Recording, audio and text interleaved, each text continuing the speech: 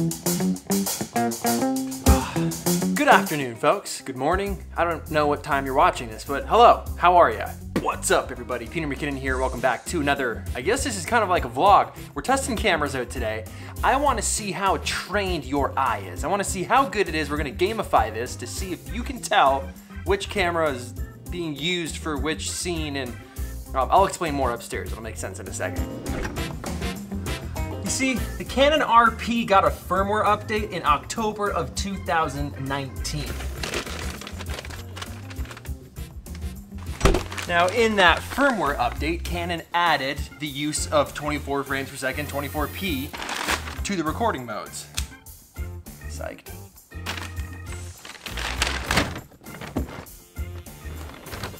Now, why is this exciting, the addition of 24p to this camera? Well, it's full frame, it shoots 24p, full HD, it shoots 60p, full HD, and it's $899. That's a really good, how do I, yeah, how do I do this? That's a really good price point for a camera that offers all of those things.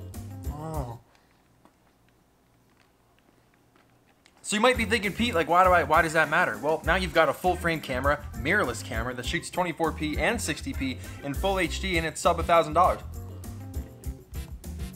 That's a good value. But good value means nothing if the camera's not good, if it doesn't perform. So today, we're gonna see if this camera performs. Can you vlog on it? Can you shoot B-roll on it? Is it something that you could take around with you with confidence? Does it stand up to the EOS R? Does it stand up to a cinema camera? Is this camera worth investing in? Is it a good backup? Or is it something you just need to skip entirely? That's what we're going over today. Yes. Oh, and by the way, as a vlog camera, this looks good. You're looking at the RP right now. I've been vlogging on it all morning. You saw that. You've seen the clips. It does the job just fine. And I'm using a Rode Video Micro, so not even an expensive shotgun mic, almost under a thousand dollars. Okay, I've set up an Aputure 300D over top of this island here, and uh, I'm gonna pull some shots in this espresso machine. I'm gonna make two kind of just loose sequences, some shots from this camera, the RP, and a few shots from the EOS R. Uh, and then you are gonna see if you can tell which shots are from which camera. Now I'm gonna shoot not in log because the RP doesn't do log, and I'll be using the same lens on each camera and the same settings to make it as fair as I can. I'll probably shoot these in 60p because they both do full HD 60p, so that's what I'll be doing settings wise. And then uh, it's time to make and drink some coffee, which I am never, never mad about. Okay. Did that sound Canadian? I'm never mad about, about.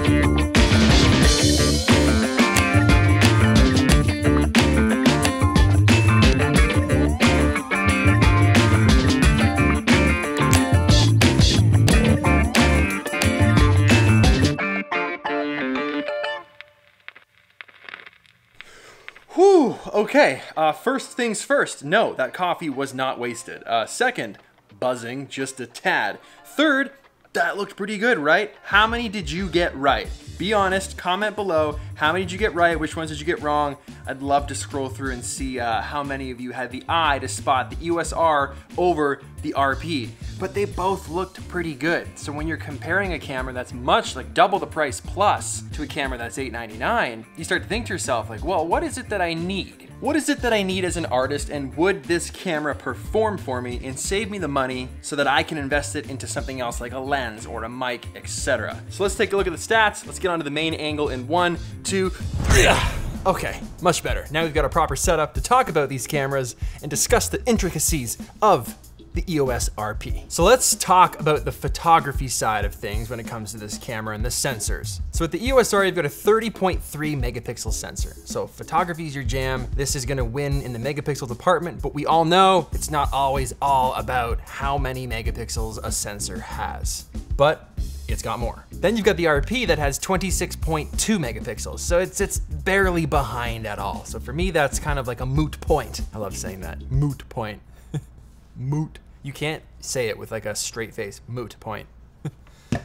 Guess you can. Let's talk about burst speeds when you're shooting fast. With the EOS R, you've got eight frames per second or five frames per second with continuous shooting. The EOS R, you've got five frames per second or four frames per second with continuous shooting. So it is slower. It's a slower camera when it comes to burst mode. So if those are the types of things that you need in a camera when you're shooting photography, if it's sports mainly, or you're trying to capture wildlife as a bird flies off a branch somewhere, that continuous shooting speed that the EOS R has over the RP, that might be something of value to you. And that's why it always comes back to what do you need? I don't think necessarily there's any bad camera these days. Cameras are great. It's 2020. Most cameras that are out there are awesome. It's just, does it have the features that are awesome for you? And those things might not be awesome for me, but they're awesome for you. It kind of comes down to like, what can you afford? What's the price? And what are you getting for that price? And how does it work for you as a photographer, cinematographer, what have you? It's why it's such a hard question when people say, what camera should I buy? I'm like, I don't know anything about you. I can't give you that option. I can give you like the, the five, you know, off the cuff answers, but those aren't tailored to your specific needs that would really dial in to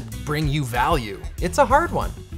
Let's continue. Uh, none of these bodies have in-body image stabilization, but they obviously have stabilization depending on what lens you put on them. So if you buy an RF lens with stabilization, then you're obviously gonna get that in lens. Let's talk video mode for a second. EOS R, full frame, 4K 30, it is cropped. You've got 1080p at 60 frames per second. EOS RP, you've got 4K 24, it is cropped. You've got 1080p, full HD 24, that's great. That's with the newest firmware update that we talked about at the beginning of this video. It's also gonna do 1080p at 60. Both single SD card slots. The EOS R takes that LPE6 battery that we all have tons of, whereas the RP takes this, what is this? This is the one bummer for me because this is the only battery I have. I only have one of these. LPE17. So SD card goes in the bottom, uh, SD card on the R goes in the side. I do like the battery better on the EOS R and I do like where the memory card slot is better. You're losing the screen up top. So the EOS R has that on the RP you're not getting, let me take this mic off. This is, it's just getting in the way, bouncing around. Come on, man. So EOS RP, EOS R. So you are losing that top screen with this camera. And that's handy. That's handy for on the fly shooting at night. It lights up, it's helpful. All your settings are right there. That's all obviously moving to the back of the screen, but anytime I can be looking at the screen less for me is a good thing. It's not a deal breaker. Obviously you pay more, you're gonna get more features out of a camera, hopefully.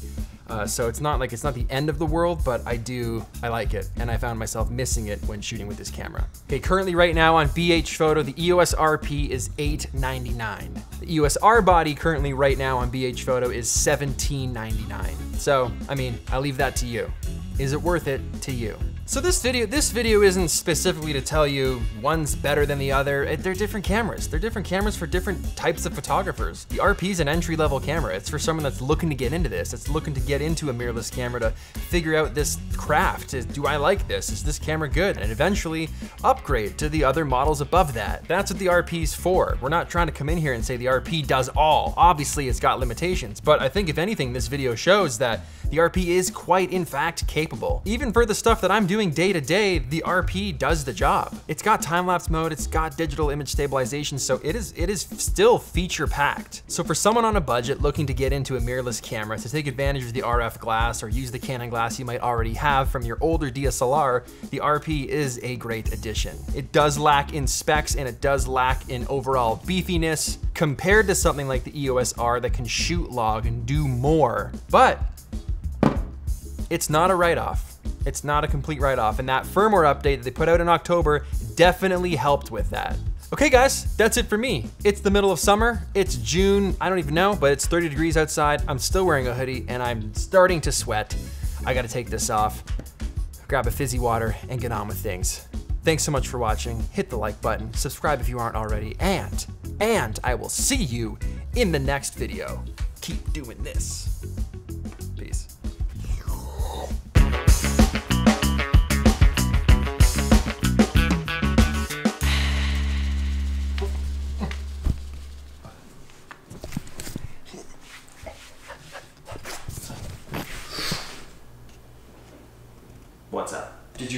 Ice cream cake?